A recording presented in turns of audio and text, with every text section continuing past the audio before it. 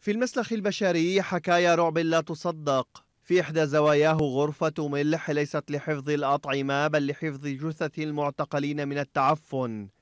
هناك تخيل الناجون من سجن سيدنايا أنها ستكون النهاية وتركت في نفوسهم وأجسامهم آلاما لا تنتهي.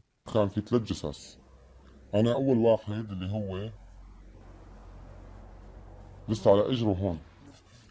لسه على إجره هون كان أول إجر أنا تفشكلت فيها هاي كلها ملح صراحة قلت معناته أنا هون جايبيني إجا حكمي إجا إعدامي إجا قتلي ملح عاد والله صرت آكله. ليش؟ أنا صرنا سنتين وسبع شهور ما دقنا الملح. يعني ما الأكل بيجيبوه من دون ملح كانوا.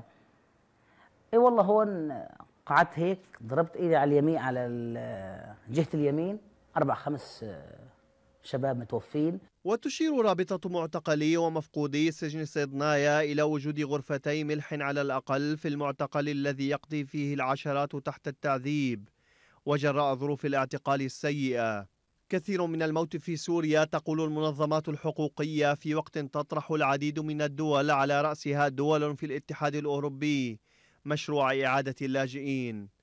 عودة قد تكلفهم حياتهم في ظل استمرار النظام السوري على ذات النهج بالطلب من العائدين مراجعة أفرعه الأمنية وصولا لاعتقالهم وتغييبهم قسريا.